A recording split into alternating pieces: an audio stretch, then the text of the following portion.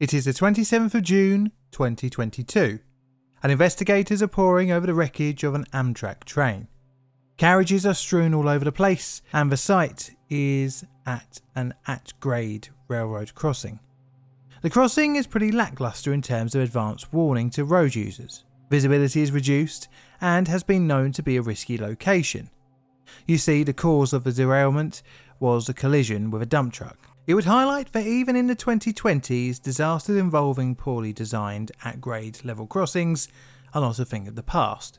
My name is John and welcome to Plainly Difficult. Today we're looking at the tragic 2022 Missouri train derailment.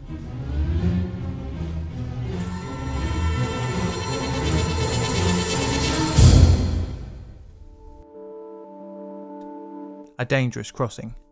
Mendon, Missouri is a tiny community of some 160 odd residents. The city, founded in 1871, was moved to be near the newly built Santa Fe Railroad line in the late 1880s. The city and the railway became intertwined, making it one of the area's biggest sources of income. However, ever since its peak at the start of the last century, this city's population has gradually reduced from over 400 down to just over 160. It is largely surrounded by agricultural land, with miles around being empty fields, intersected by the railway line. Which over the years would change ownership, eventually coming under the control of BNSF. One such intersection was roughly one mile to the southwest at Country Road 113, Porche Prairie Avenue. This crossing is somewhere in the middle of what I would like to describe as buttfuck nowhere. As such, it has little in terms of crossing protection systems. It is known as a passive crossing, in that it has no active warning systems like lights or barriers. Instead, it was armed with crossbucks and a stop sign. The line runs along a berm, which raises it above the Porche Prairie Avenue at a height of roughly 9 feet, or 2.7 metres above the road. A side effect of this is that the road needs to rise up to meet the railway line. As such, there was a pretty steep incline from the road to the crossing. This severely reduced visibility to road users of approaching trains, which I might add can travel with speeds up to 90 miles an hour. Needless to say, the trains have no ability to avoid a collision if running at line speed. Now, this is all pretty standard dodgy crossing implementation we see all over the world, where low traffic roads get bugger all in terms of crossing warning and protection. Usually no one cares, so few vehicles use it and the cost is prohibitive. But this crossing in particular had actually been highlighted as a concern from locals. You see, the types of vehicles that were most likely to cross the tracks were big, tall, heavy farm vehicles, which gave little room for error when climbing the steep gradient up onto the line. The railway, however, did have pretty modern train control systems in place, with BNSF authorising train movements with a traffic control system. Train movements are managed by a BNSF train dispatcher, located at the dispatch centre in Fort Worth, Texas. Local resident Mike Spencer, concerned about the crossing, brought it to light on a 2nd of December 2019 Chariton County Commission meeting. He was informed that he should contact the Missouri Department of Transportation's Railroad Safety Division. A week later, commissioners spoke with officials from the state agency and were told it was on their plans to repair. A couple of years would go on until a meeting at the crossing in March 2021 with a state railroad safety division engineer. The issues with the crossing were pretty obvious, as such, it was proposed to install lights and gates along with roadway improvements. The cost was estimated to be around $400,000. Usually, with these kind of things, the federal government would pay up to 80% and the county would have to fork the bill of 20%. But the site was rather low on the priorities list due to the limited funds available for crossing upgrades. The conversion was approved to be completed in a four year plan that runs through fiscal year 2026. Great, all everyone needed to do was to not have a crash on the crossing. But we all know what the next chapter of this video is going to be. The disaster. The normally pretty quiet Porche Prairie Avenue in June 2022 had become a hive of activity. Alongside the line, near the crossing, the Army Corps of Engineers were undertaking repair works to a levee. To facilitate this, multiple trucks cross the line to deliver aggregate. One such vehicle is a 2007 Kenworth W900B dump truck.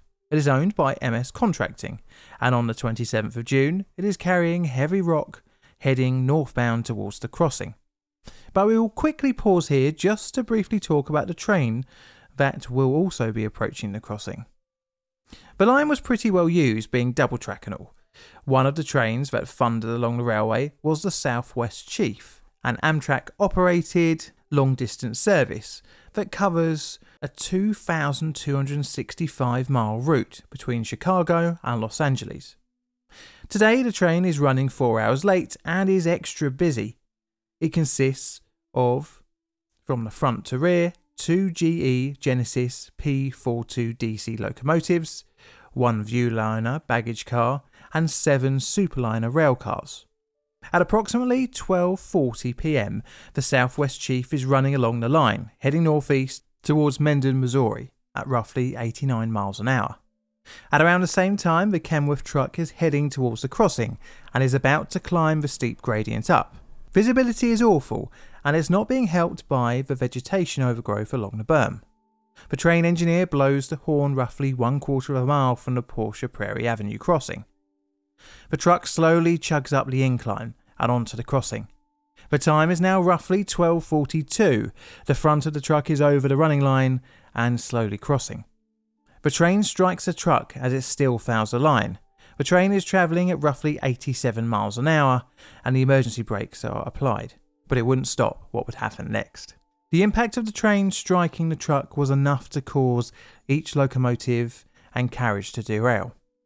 Seven of the eight carriages tipped over onto their side, throwing passengers around within. The truck was pushed down into a nearby ditch. Once the train came to a stop, many aboard made quick work of escaping the damaged carriages.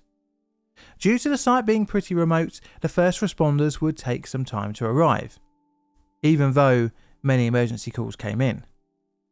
In a strange side effect of the time of year, the route was often frequented by scouts, who provided much needed first aid to the many wounded. Over 20 emergency crews would arrive to assist with first aid and emergency evacuations, as well as body recovery. Locals assisted with evacuating wounded and debris removal using pickup trucks, personal cars, and farm equipment.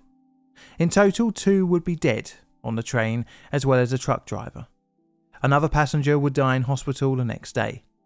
Of the 270 passengers and crew aboard the train, 150 would be reported to have suffered some sort of injury. As the disaster took place on a US railroad, it would come under the jurisdiction of the NTSB to investigate.